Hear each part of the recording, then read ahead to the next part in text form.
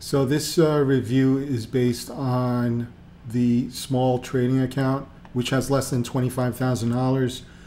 Uh, so because of the account uh, being less than twenty-five thousand dollars, this account falls under the pattern day trader rule, uh, commonly known under PDT, uh, which prohibits day trading of the same stock more than twice. If you break that rule for a third trade, your account will be restricted for 90 days. So, uh, looking here, uh, this account was funded back on June 9th with $2,000. And since, uh, since that, there's been no additional funds received.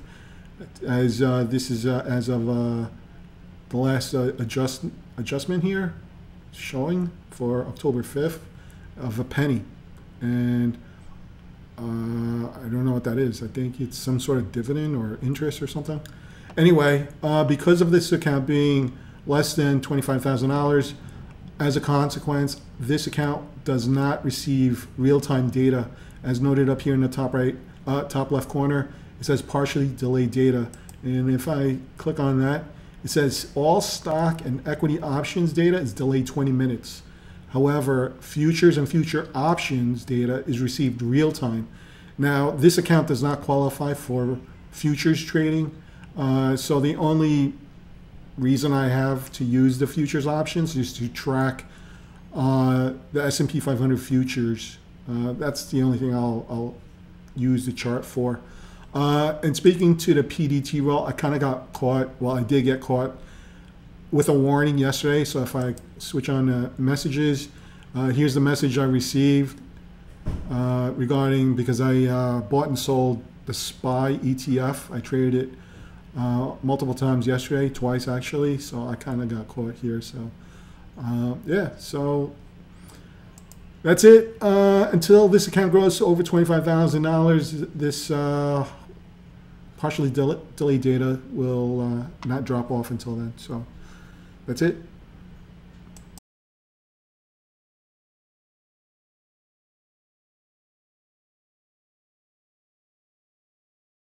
Today's Sunday, October 22nd, and this is just a status check on a position I'm currently holding involving automatic data processing, commonly known under the ticker symbol ADP. I'm sure everyone knows who they are.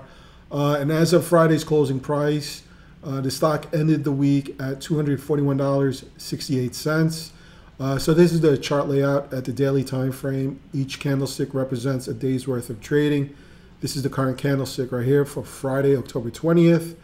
Uh, the red vertical dash lines are monthly expiration Friday for monthly option contracts. So as uh, the market was heading into this expiration Friday, uh, I was anticipating a move to the downside considering that even though price has been ranging sideways after price hit a high of around $256 back in uh, end of July, and since then, uh, price hasn't really broken any higher. Uh, it moved pretty much from its low back in May of around $210 uh, to a $40 move to the upside and has made two attempts to break above 256, and both attempts just went nowhere.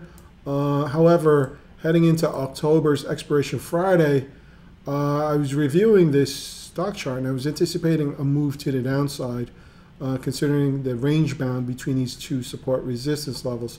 So what I did was approaching October 20th expiration Friday, I did take a short position. I didn't short the common shares. I shorted via option contracts, specifically contracts that expires on November 3rd. And relative to the spot price on October 20, uh, October 18th, I selected the strike price of $225. And when I entered this trade, the stock price was quoted at $248.71. So essentially what this contract is saying at the time of my entry is that I'm anticipating that the stock price will be at or below $225 on or before November 3rd. Uh, so this line is just a visual markup as to where I took that short position. And since I entered this short, um, price has been trending to the downside. So heading into next week, uh, I'm anticipating that price may consolidate here at 237, similar to what happened over here. It's been a few days uh, trying to break below it, but held at support. So it respected this price level rather well before bouncing up to retest 250. However, I'm anticipating that heading into this week, uh, price may ultimately fail to hold support and fall below 237.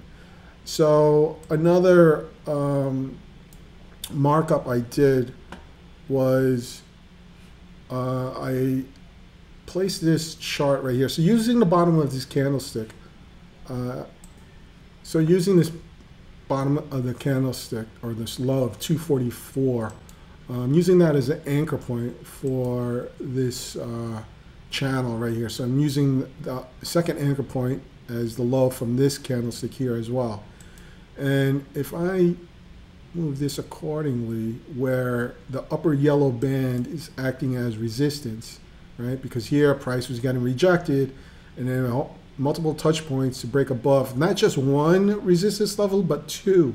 We have the yellow, diagonal yellow, and the horizontal blue. So this was a strong rejection, right? So if price was able to break above that, without a doubt, I would have thought that this price could have shot up to $300 because again, it has to break above two strong resistance levels. But the fact that it was rejected, from my perspective anyway. Uh, so if price does come down and there's continuation to break below 237, then I'm looking for price to at least consolidate along the diagonal dash line here, which is also acting as a support level, support resistance level, because here we have a, a touch point here, and we have multiple touch points here where price was respecting this downtrend. So price could gradually start holding at support at 234, 232 level. However, I'm anticipating heading into October, price will break below this. So that was the general thesis for my bearish outlook for ADP heading into November. Um, so short term outlook bearish, but long term I think this is still a healthy company, and price will eventually reverse back to the upside. Uh, but uh, specifically to this trade, switching over to the trade tab. Uh, right here on the option chain, there's a flag position involving the November 3rd uh, expiration date, which will be expiring in 12 days. Uh, so right down here, the, uh, the details. So I picked up four contracts. Uh, all four contracts will be expiring worthless in 12 days. And my average entry price per contract uh, was at $58. And fortunately, the trade is going in my direction as the premium is now quoted at $112.50 per contract. And the P&L is reflecting a positive balance of $215 since entering this trade. And if I click on the trade confirm, uh, as a matter of fact, all four contracts were picked up at $58 and they were all done on October 18th. So this was one lot order for four contracts and each uh, of the respective P&L are right here. So how options are quoted, because here it's saying 58 cents, I'm quoting $58. So each option contract is essentially holding 100 shares of the underlying security, right? So the multiplier is 100. So you take the premium and you multiply that by 100 and that's the option price. So here we take 58 cents, multiply that by 100 or 100, 100 shares per option contract. One contract is $58 times four contracts, not including commission. This is a $232 trade. So at risk, if I don't close this position out and the trade goes against me, uh, total max loss is $232. So that's how option premiums are quoted. So that's a general thesis again with with uh, almost two weeks, a little over two weeks left in the trade. Uh, I'll go ahead and pause it here. I'll pick it up when something more significant does occur. Maybe when price, if it breaks below 232, I'll do a status check. Otherwise, I'll do a status check uh, next weekend. So until that update, more to follow.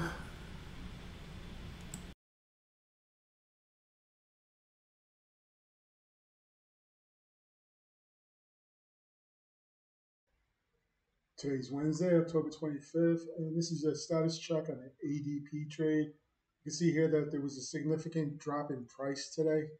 Uh, so as of the time of this recording, The spot price is two hundred twenty-three dollars thirty-eight cents. Uh, slightly uh, rallied a little bit again because this data is delayed.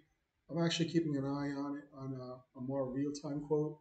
Uh, now that price is below my strike price, even though there's still uh, time remaining in the life of this trade, the fact that price is literally almost at support level, uh, I'm going to go ahead and capitalize on this move to the downside and close this position out. Uh, I'd like to close this out at 450. So you can see here that the quote or the premium is now at five dollars forty cents, and the P&L is reflecting a positive balance of a little over nineteen hundred dollars.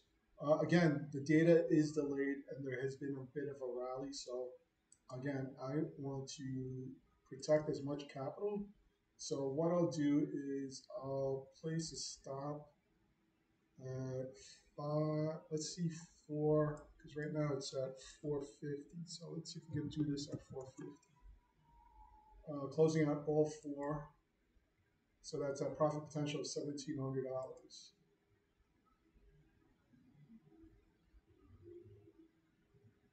So it's actually dropping a little bit more. There, sold it at 450. The position is now zero. So um, at 450, right? So that was 450 times 100. It's $450 per option contract. I picked up four. So that was a $1,800 gross. Um, so what I'll do is I'll provide a breakdown of the actual position, but I am out of this trade. I was able to capitalize on this move to the downside as I was anticipating. So overall, uh, a good setup. I was able to participate on this back here on October 18th, heading into expiration Friday and beyond. I was anticipating for this move to occur, which played out accordingly. So until the next setup, uh, I'll see you.